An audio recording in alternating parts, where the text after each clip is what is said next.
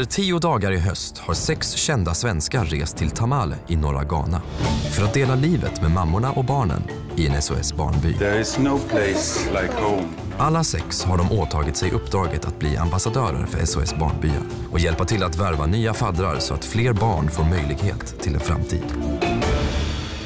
Det här är deras resa. Vilket Please, berg! can you help me? Yes! Det var ju otroligt kul att, handla. Det här kommer vara sån glädje för barnen. Ser ut som blåbär. Nu kommer ju Lisa och Marie åka till Accra och jag åker iväg. Och då kan man tänka sig, men vad händer då med aktivitetshuset? Jag är överlycklig om jag hittar en som är mindre händig än vad jag är. Main problem here is uh, prostitution. Jag blir faktiskt jävligt provocerad. Vad säga barnprostitution? Det är en omöjlig mening att säga. Det är så svårt att fatta. Why aren't the authorities like here and stopping it? Jag kommer nog alltid undra vad som hände med den där lilla killen som kom fram och tog mig i handen. Lever de idag? Jag, jag vet inte.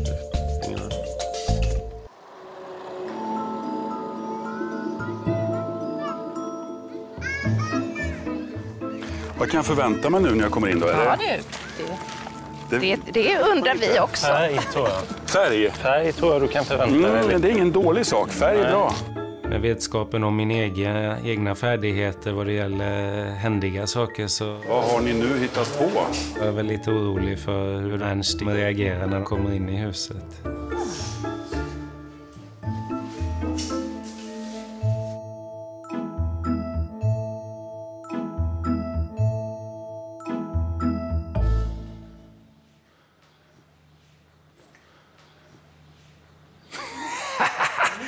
Gillar det jag ser. All right. All right. Ja, men alltså det här är ju hur häftigt som helst. Den här soffan blir ju riktigt bra. Du ska få se tygerna som är tänkta till. Det blir kanon till. Alltså jag hör ditt resonemang. Du börjar bli någon slags lite inredarmänniska.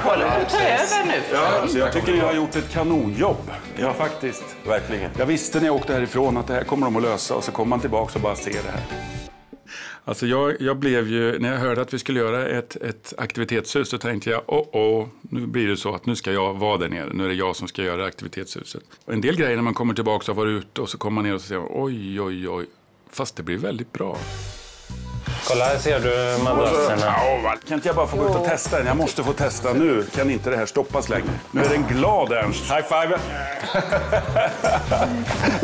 I'm so happy for this. Mycket av det som är där nere är faktiskt färskvara. Betyder att vi kommer på saker i stunden. Så att vi, vi kommer att göra det här väldigt bra tillsammans. På vårat sätt. Ja, men alltså, det kan inte bli mer perfekt än så här. Det har varit roligt att hålla på i aktivitetshuset. Jag som inte är så händig av mig från början har fått lära mig massa nya saker. Ett par veckor till under Ernsts ledning kommer jag vara en fullfjädrad arbetsman när det gäller händighet.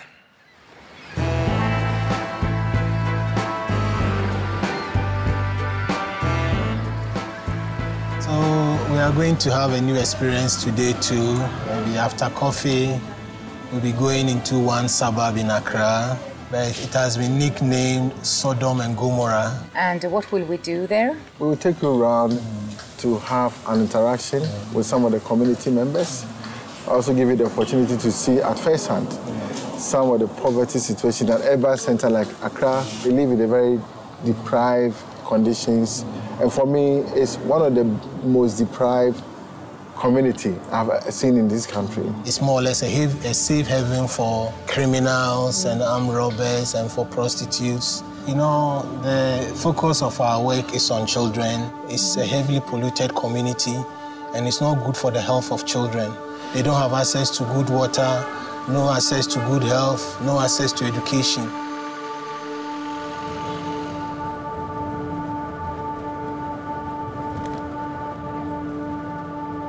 Det som kommer hända idag, det kommer bli vår största utmaning tror jag, hittills på den här resan. Det värsta stället i hela Ghana. Vi får ju bara liksom hålla oss till varandra och eh, hålla ihop helt enkelt. Eller hur? Ja, vi gör det. This is a community there, over there. Oh, it's over, it's over there. So this is Sodom Gomorrah. Yeah. That's the community over there. It's made up of wooden structures. So that's where 60,000 Ghanaians live with their children and their relatives.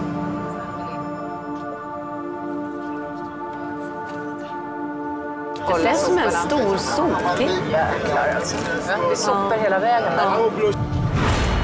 Kolla floden. Det var som en svart gröt liksom. Ja, det här är helt overkligt alltså. Jag har aldrig i hela mitt liv sett något liknande. Alltså. Och det brinner sopor i alla fall överallt. Men kolla alla soporna. Liksom. Ja, Titta. ja. Fy fasiken. Titta. Det är helt otroligt.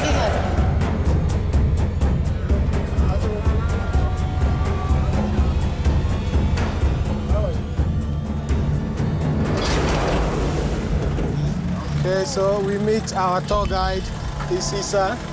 I'm Lisa. Nice to meet you. Hello, nice to meet you, Anne-Marie. So Isa will take us around the community. This week. Timpani man, the kati te dam envelope man. Mm.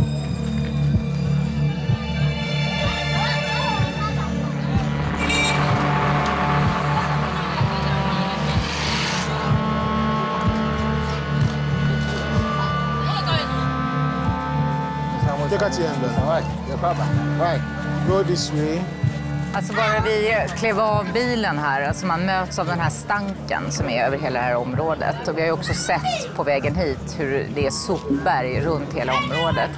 Och eh, det ligger bitvis en dimma som ett dis, alltså det är någon eld, någonting som brinner någonstans. Och vi har ju, bara vi klev ut här så såg vi direkt barn med uppsvällda magar och så. Så att eh, jag känner eh, att det här kommer bli tufft. Det känns eh, som att vi är på väg in i någonting som vi inte ens kan föreställa oss. Åh herregud Lisa.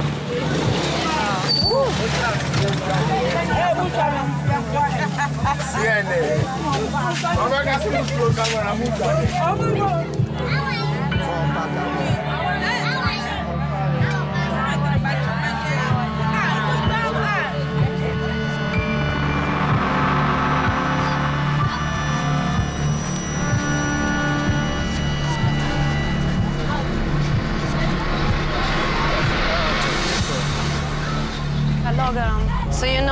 People here? Yeah. Han har ju bott där i nio år, den här Isa. Och eh, det var ju tack vare honom vi kunde gå runt överhuvudtaget. Det här är ju liksom ett farligt område också, ska man veta. Han hade ju pratat med alla, eller inte alla kanske, men de flesta visste ju varför vi var där. Och de hade liksom godkänt det här. Annars hade vi ju aldrig kunnat gå omkring liksom på det här sättet som vi gjorde. All the people here, they, live so close. Where do they go to the toilet? There are more toilets. Yeah, we have toilets here. Han ser ju förstås problemen och det är därför han vill visa oss. För att han ser ju att det måste göras någonting. There are thousands of people here with few toilets around. Yeah. So some of them normally go to the lagoon because you pay money before you go to the toilet. Yeah. It's, some of them cannot even pay the money.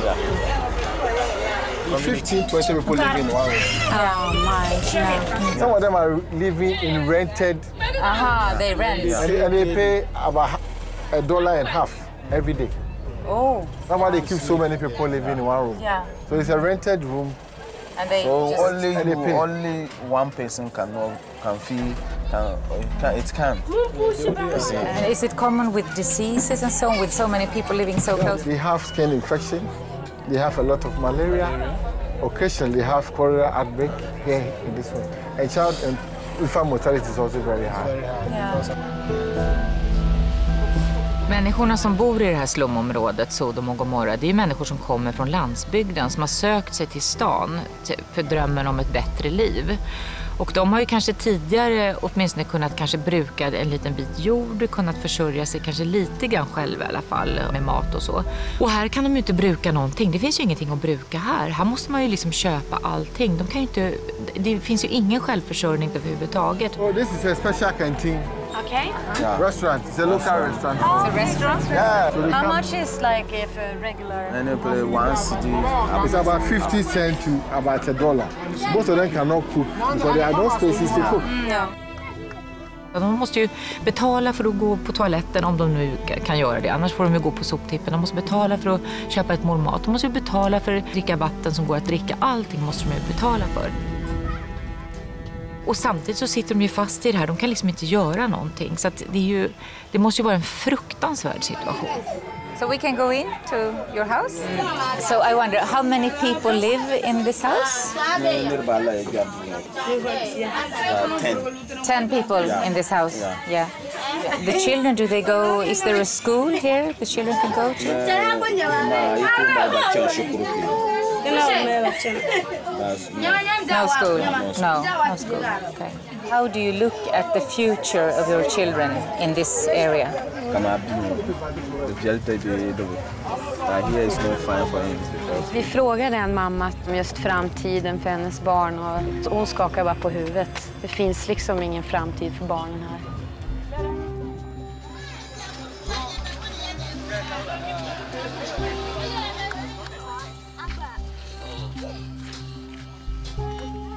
Det här är absolut det värsta stället jag har varit på i hela mitt liv. Och att ett barn ska behöva växa upp på det här sättet, det är, he- det är helt oacceptabelt. För 200 kronor kan du hjälpa till att göra en så stor skillnad. Och jag hoppas verkligen du tar den chansen.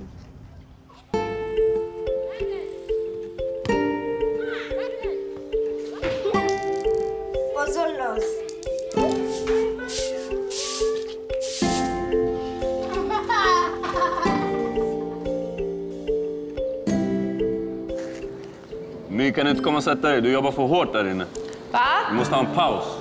En paus? Ja. Fy. Vilken bra idé. Får akta så du inte får solsting Ja. inomhus. Här. Kan man få det? Ja, det är i alla fall värmeslag tror jag. Ja. Vi måste nog eh, skämta med Ernst lite. Ja, ska vi hitta på någonting? Jag måste hitta på något. Vad ska vi hitta på då? Att vi ska måla rummet beige? Något Kan, vi- jävligt kan, vi inte, kan vi inte säga att vi river ut allting och, och gör en stor dansbana bara, Mm. så de kan ha disco. Annars Eller vi kan, vi vi kan lura, vi kan säga att det kom en mamma här och ett barn och de såg så besvikna ut. De tycker, verkar inte alls tycka att det var Ja, det är fint. bra. Va? Det är en bra idé. Och de kanske till och med kan spela fotboll inomhus. För, för när det är väldigt varmt så, så är det, kan det vara AC där inne och spela fotboll. Inomhusfotboll, ja. Med en sån där diskokula, det borde man väl kunna. Exakt. Va? Det blir bra. En, en diskokula alltså. Nu så ska allt som vi har byggt rivas ut. Det kommer att bli en dansbana. Eh, Och det ska inte vara en massa färger, utan mammorna vill ha det beige bara. Det blir jätteroligt. Alltså det här att bära vatten på huvudet, eh, det är inte lätt. Ja. Eller jag bestämde mig för att visa några av mina absolut konstigaste videor. Och det var ju såklart konstigt för några att förstå.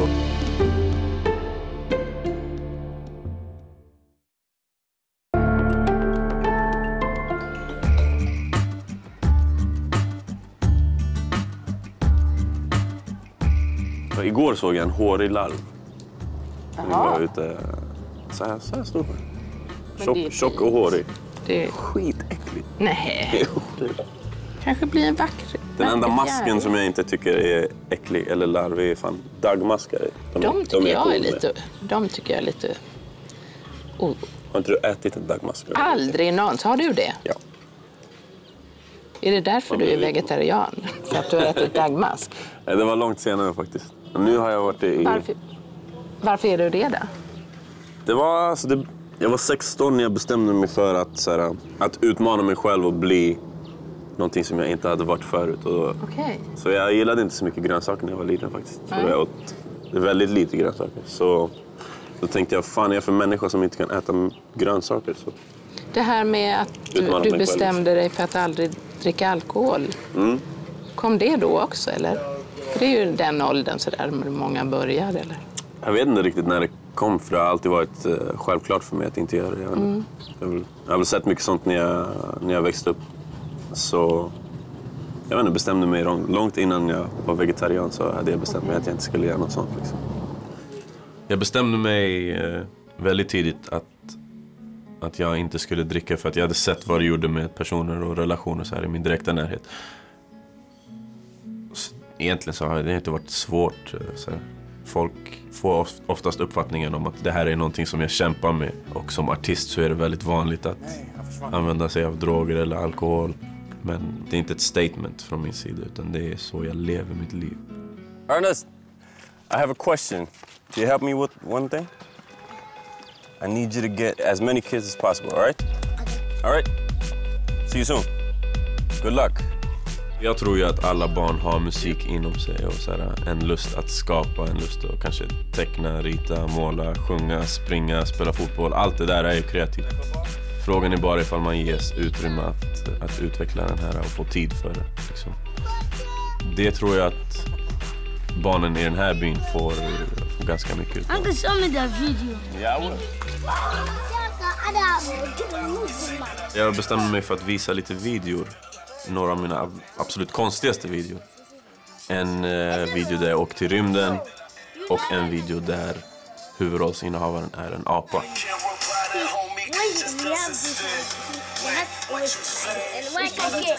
Monkey. Yeah? You ever seen a monkey like this? No, hi, he's smoking. Yep. How can a monkey smoke? It was not wearing a coat. No? You sure? Junior.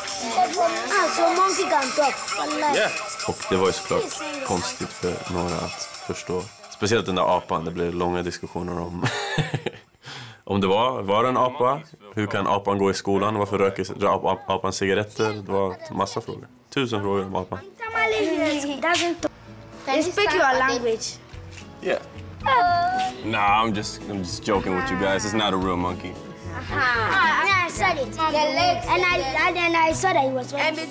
Jag hoppas att barnen ser på mig som att jag är artist, att jag har fått eh, åka runt och, spela musik i, i hela världen. Att, jag hoppas att de känner att de också kan göra det någon dag. Okej, Okay, go far, go far.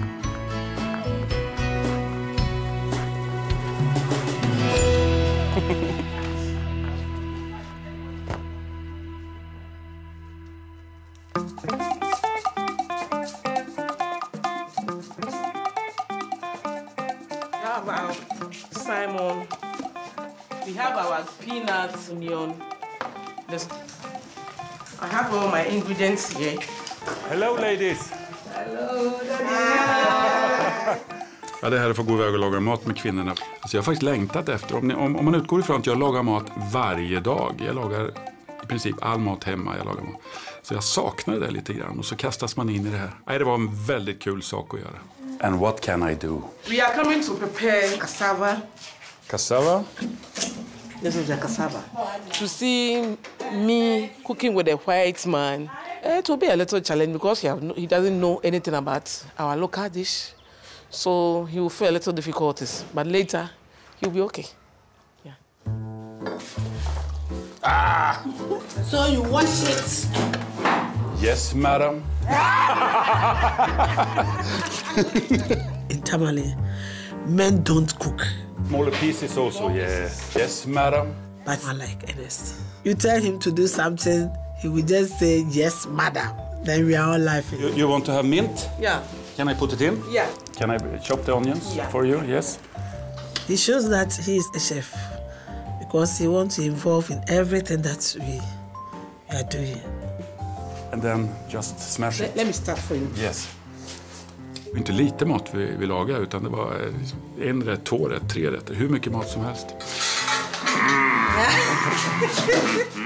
Jag måste säga att det är en jäkligt estetisk matlagning. Alltså det, det här med alla sinnen är faktiskt igång. Och det blir ett otroligt häftigt paket av hela matlagningssituationen. I have more to do, yes. I'm coming, I'm coming. I want you to help me. I want you to experience this one. Yes. Uh-huh. So you are going to carry it On, on the... on the head.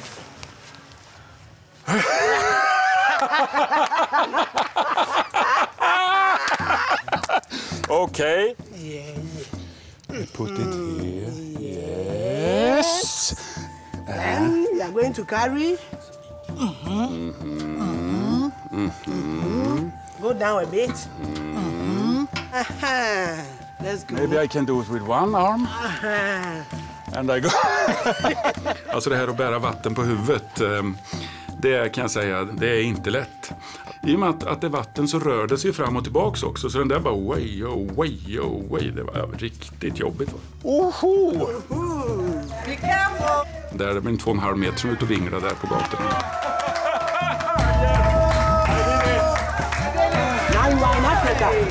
Now you are in Africa. I didn't know that he can do it, and he did it. So I was so impressed about it. Now our cassava and yam is ready, ready to pound. Pound! Hey! Det blir verkligen som en deg. Now you can help. Okej. So. you are going to hit the hand. Alltså att stå och stompa med den där och samtidigt så sitter en mamma och viker in hela tiden. Det var jätteläskigt för jag var livrädd för att motsa hennes fingrar. I'm afraid to hurt you. Men till slut så blev jag en riktigt bra stomper. He's jovial. He's free with everybody. The way he laughs, I I really like it. He will laugh, and then you see that he's lovely. It's fufu in my face. Jag måste säga att det här var en total matupplevelse. En total matupplevelse. Och få sitta där och äta med de här kvinnorna. Jag tror aldrig jag haft bättre bordsplacering i hela mitt liv.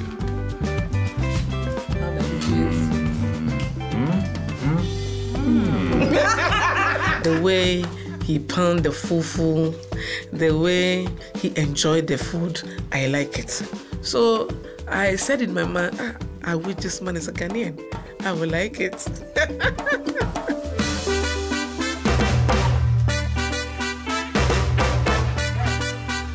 this way. Now do your own thing. My own thing.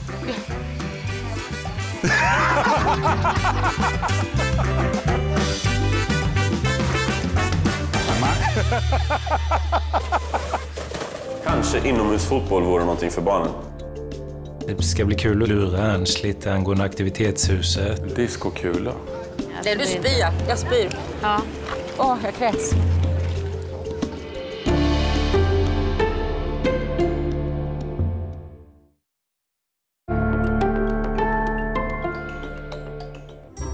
Skönt att sitta och slappa lite. Faktiskt. Åh, nu kommer Ernst. Uh-oh. Ska vi se ut som, se ut som vi gör något? Adam kom upp till mig innan idag och berättade att han och My hade snackat om att lura Ernst lite angående aktivitetshuset. Tjena man! Här jobbas det för fullt. Det jobbas på? Ja. Härligt. Jag tror kanske att han är för snäll för att säga emot, så jag kan, jag kan gissa att han kommer... Men jag tror det kommer göra lite ont i honom att hans ursprungliga planer inte skulle vara de som gäller. Det var många av, av mammorna i området. De gillar asmycket enfärgat, så de vill gärna ha en färg på väggen. Så kanske att vi får stryka det här också, jag vet inte. Mönstret? Ja, precis. Vill de inte ha mönstret heller? Tydligen inte. Ja, det var det hon sa. De kanske inte alls var så peppade på träning längre. Okej. Hon såklart tyckte att det skulle vara ett problem. Eftersom vi skulle, eller gör, en träningslokal. Så, men det hon lyfte fram istället var att vi ska fokusera på att göra något ställe som de kan dansa på istället. Även sa hon att kanske inomhusfotboll vore någonting för barnen. Det var det mammor där nere och de har sagt att nej, de vill, de vill helst inte ha alltså mönster och starka färger på väggarna för de tycker det är skönt när det är lite kommunalgrått och bara sådär. Och sen säger de också att de vill absolut inte att det ska bli träning där nere utan de vill möjligtvis dansa och då, då säger Adam och så kanske vi kan göra en vi kan göra en diskokula av en fotboll. Mitt i en hängande diskokula. Diskokula. Här ute är en del måleri som ska göras ja. Och sen inne i det här hobbyrummet här, och de här ska målas med. Man kan dra hur långt som helst, men han är bara peppad. Liksom. Så det är kul att se att eh, Ernst var Ernst var Ernst i alla tillfällen och ville bara ah, okej men kör, nu bygger vi en fotbollsplan här inne. Det är lugnt. För att det är för varmt att spela fotboll utomhus.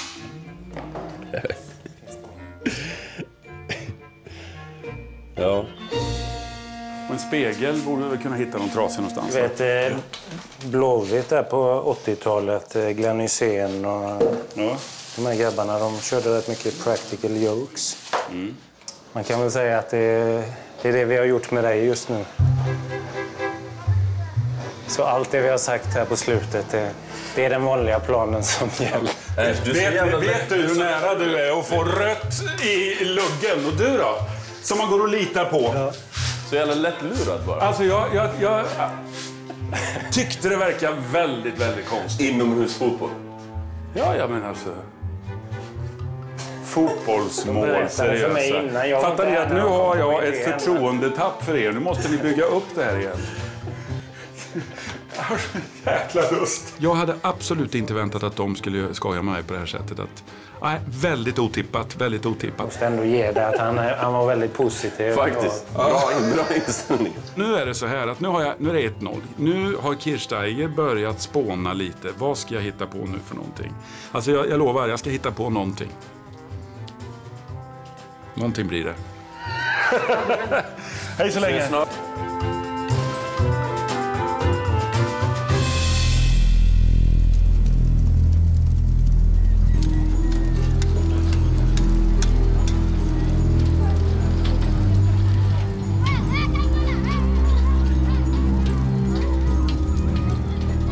I wonder about the water situation. Uh, how do people get water to, to wash themselves and drink? Yeah, this water, wastewater will come here Yeah. and pass to Kwale, uh, the, the main one. The, the problem is that, I mean, there are no any outlet for the water to flow. And uh, people, uh, they go to these washing places and they pay to, to, to wash themselves. Yes. They cannot wash in, in the house. Okay? Åh herregud, kolla. Åh herregud Lisa. Ja. Kolla. Three years ago, they picked some soil sample here and they said it's 100 times more polluted than the other communities. Uh-huh. The children here are exposed to a lot of dangers.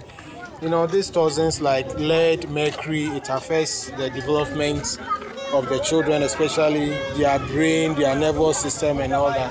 So you may see healthy children, but their brains might not develop very well because of the pollution of the environment. Yeah. Hey ma, nungara do ode klema. Nungara ni nunga. Hey ma, nungara. Where does all the waste come from? The garbage? Where? Where? The, the garbage are generated from this community. Okay, so it's the way. Okay, so, And they so, throw and, and like we explained earlier on, those who cannot afford to go to toilet, Ah. what they normally do is to put the toilet into a polythene bag and come and throw it into this lagoon. The people who live in this area, what do they do to support themselves? Many business we do this community is that scraps. Yeah. that's the main thing. But They're for, the for the men, for the men, It is. for the ladies, some are petty traders. Others do menial jobs. They go around town carrying things for others, carrying load Yes. for an income. And there are a small minority of them are also engaged in prostitution. And, Prostitution. yes. And they, how much do they pay for prostitution? Three Ghana cedis. Oh, About um, a dollar and a half.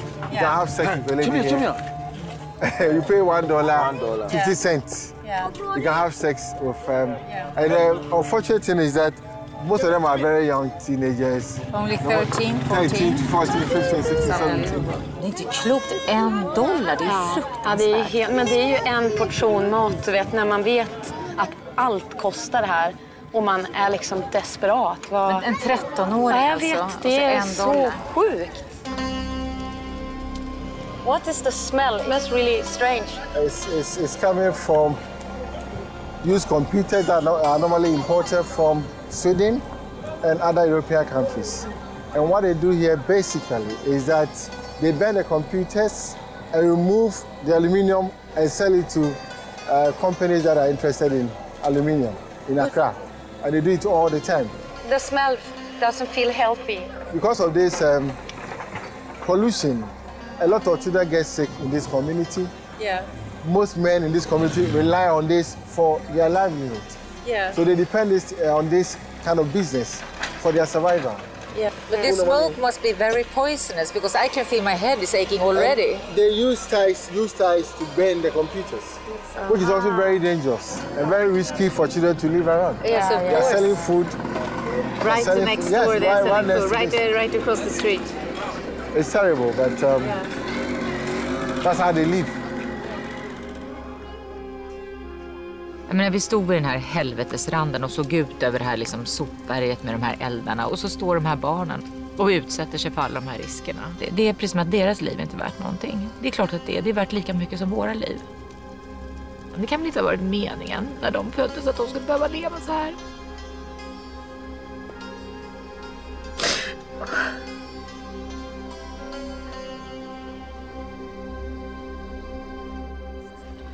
Jag har faktiskt aldrig, jag har aldrig varit med om något liknande Inte jag heller. Ja, jag har heller aldrig varit med om liknande. Jag har aldrig, varit, jag har aldrig sett något liknande. är- Jag har aldrig känt en sån hela Ja, och det är därför det är, det är svårt att prata om det också för att det är så otroligt overkligt. Det är som att man, man är inte med om det fast man står här på något sätt ändå. Det är så overkligt, det går Men kolla inte. där och kolla på de där tre barnen som springer ut där barfota bland, bland liksom, faktiskt bajs och kiss och sopor. Avföljt. Mm. Nej, du spyr. ja. Jag spyr. Ja. Åh, jag kräks. Åh, gud vad jag mår illa. Oh. Åh. Jag kommer kräkas. Jag vet inte var jag ska kräkas någonstans. Gud, ja. Gud vad det stinker. Och vart ska man ta vägen? För det finns ju ingenstans att ta vägen.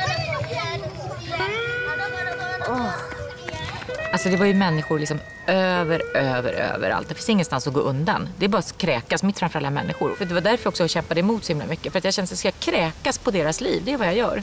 Ska jag stå där och kräkas på deras tillvaro? Det är så hemskt som ni lever så jag spyr.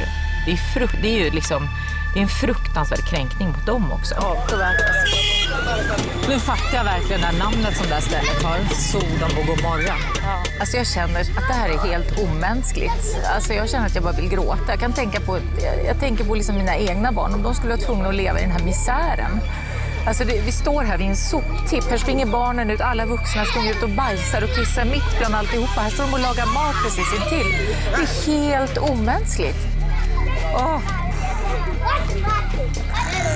Hello. Alltså lukt, Jag alltså, kan inte titta åt det där hållet Nej, längre, nu känner jag. jag liksom. Det här är, den här lukten är, den var... Åh! Åh du, det här är en resa i Gud, vad fruktansvärt alltså.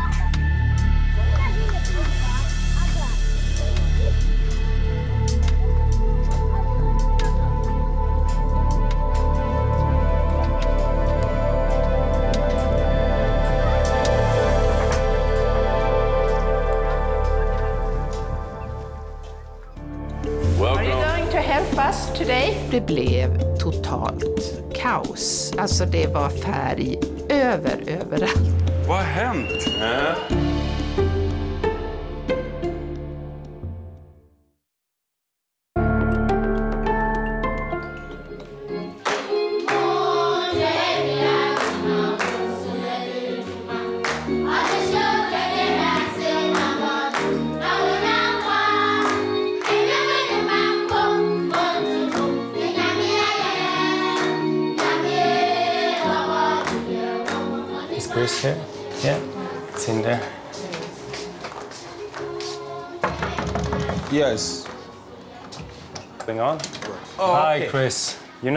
since I work in a school back in Sweden, oh, okay. uh, I thought it would be very nice to see how the school doing. is doing here. Is that possible?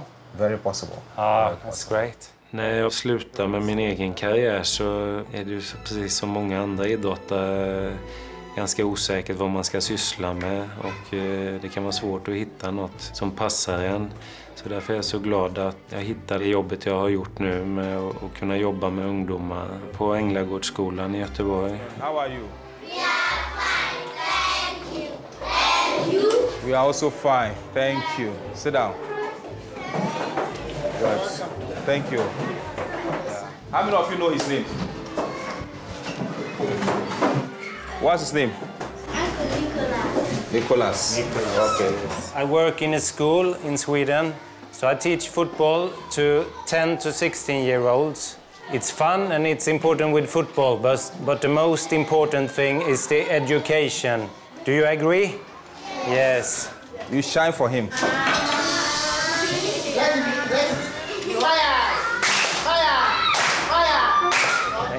Som är så roligt med barn tycker jag är att när jag ser någon av mina elever som, som lyckas med något de inte lyckats med innan för att man har gett dem lite tips och råd. So there's one girl in this class I would like to talk about. She's Dor. She sits at the back seat of the middle row. She's quite elderly. Yeah, you see she looks quite bigger in the class. Yeah. She never had the opportunity to go to school. SOS is the first place where she started education, then helping her uh, to develop. She couldn't initially speak any language, and she had to start from kindergarten at the age of eight years. But through the processes, she's just been in the village barely for one year, and now she's in class two. Yeah. So you can look around. Yeah. Education is the key to everything. So education is the key to development, and education is the backbone of every country's economy. So without education, it is virtually empty. Do you like school? Yes. Do you know where's um, the eagle? Då är ju ganska jämngammal med min egen dotter och blir det ju väldigt lätt att relatera och jämföra. Mina barn och barn i Sverige eh, har det ju väldigt bra. Det finns så många barn här nere och för den delen eh, på andra ställen i världen som behöver vår hjälp.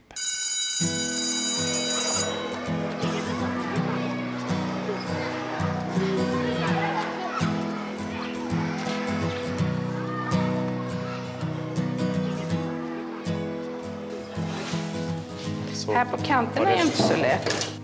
Hi! Hello! Hello. Are you going to help us today? That's good. We need some help. Idag så skulle en mamma komma med eh, sina barn och hjälpa till att måla. So this is going to be a blue table, Men vi behöver penslar. and the small ones are going to be red. Det finns en röd pensel där ute. okay. All right. Can you help me with the table?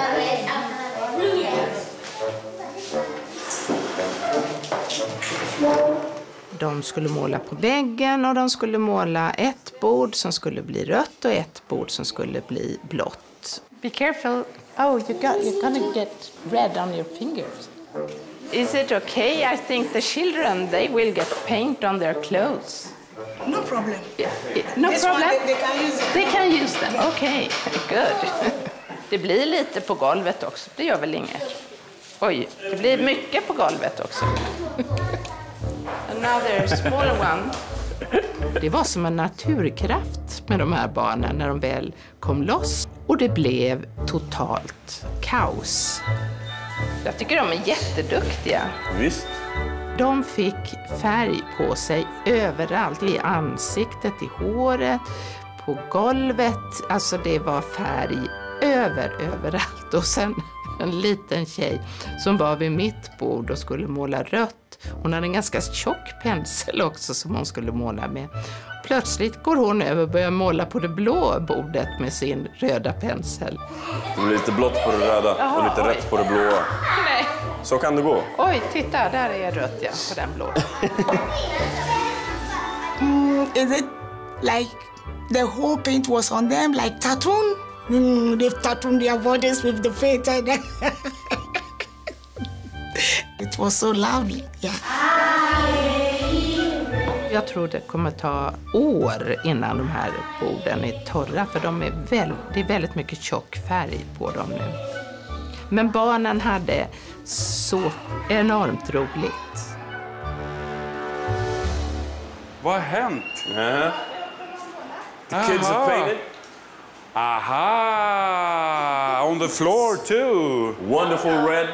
Wonderful, Wonderful red. Yes. I love it. And wonderful blue. Yes. Nice job. And you have done it. So good. Perfect. Yes. And I like your nose. It's a red nose. Everybody was just laughing and so excited. Yeah. He appreciated what we've done, my children and myself, and we're so proud of ourselves for being in that place. Yeah. Och titta, helt röd. there was no space more for them to paint. So we have to stop and go out and then wash ourselves. Yeah. Nej, men jag är nöjd med det här. Jätte- Och sen var det ju jättekul att barnen hjälpte till här och fixade och grejer. Det blev ju asfint. Ja, ja, ja. Barnen klev ut här med lika mycket färg på sig som på möblerna nästan. Det var deras mammor sa när de kom hem, men de har haft kul i alla fall. Okej, då så. That's it for today. That's it for today. Let's go. Let's go. Let's go.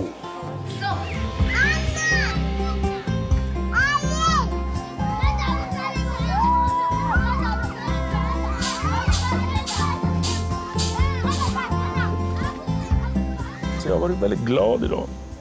Bra dag. Ja, det var en väldigt bra dag. Det har varit en lugn dag. Inga, inga utflykter. I väntan på Marie och Lisa. Inga... Alltså jag är fortfarande lite, ja, inte chockad, men väldigt, väldigt förvånad. Vilket? Att de lurar mig. Men grejen är att nu, nu är det min tur. Nu är det min tur. han ruvar på hem där Adam. verkar skumt. Så... Sitt inte och var trygg där borta, utan du kommer. Känns det? Det att få leva tillsammans i en grupp som vi har gjort, vi ambassadörer, det gör ju att vi blir väldigt eh, goda vänner och vi har haft otroligt fina samtal måste jag säga. Långt, långt in i den afrikanska natten så har vi suttit och pratat och, och det gör mig väldigt glad att, att, att få en helt ny grupp av människor som jag har blivit god vän med. Ja, good evening. Good evening. För mig har det varit en förmån att få lära känna dem. Nicholas, I have a, a very interesting information for you. For me? Yep. You've been asking of Richard. Yeah.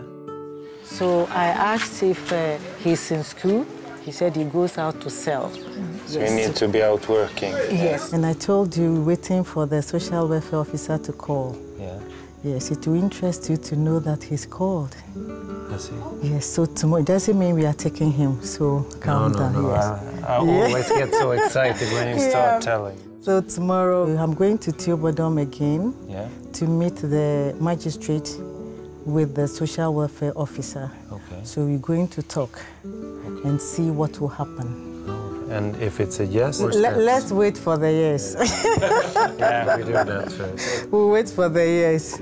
And when the yes comes, then we know what to do next. Det kommer bli otroligt spännande att höra om vilket eh, besked hon har, Josefin, när hon kommer tillbaka till byn. Eh, Det har varit eh, en lång process med många steg och eh, för varje positivt svar, ju närmare kommer vi chansen att han får komma hit till, till barnbyn. Have a good night. See, yeah, see you tomorrow. All right. Bye bye. Bye, bye. Thank you. Welcome. Spännande. Det känns som att det är nära att han får komma hit. Mm. På något sätt. Verkligen. Jag går in och lägger mig faktiskt. Ja, det kommer Klok gå. du är. Ja, jag är väldigt klok faktiskt när det gäller den saken. God natt. Så bra.